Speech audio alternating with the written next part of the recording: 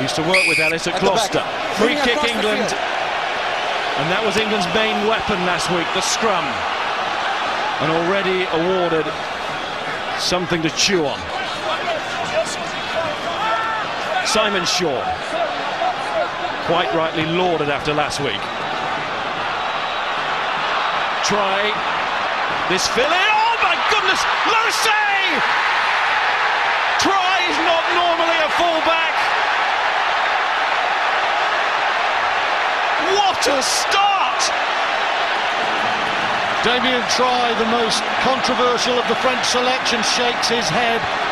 The ball stood up awkwardly, but he had to make it his. It was a clever kick from Gomarsall, but he's got to do better than that.